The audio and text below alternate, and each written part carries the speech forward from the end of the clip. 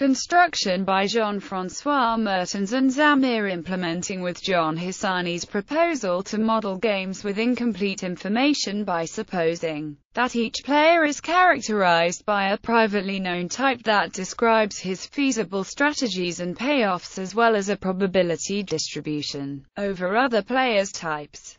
Such probability distribution at the first level can be interpreted as a low-level belief of a player. One level up the probability on the belief of other players is interpreted as beliefs on beliefs. A recursive universal construct is built, in which player have beliefs on their beliefs at different level. This construct is called the hierarchy of beliefs. The result is a universal space of types in which, subject to specified consistency conditions, each type corresponds to the infinite hierarchy of his probabilistic beliefs about others' probabilistic beliefs. They also showed that any subspace can be approximated arbitrarily closely by a finite subspace. Another popular example of the usage of the construction is the prisoners and hats puzzle, and so is Robert Aumann's construction of common knowledge.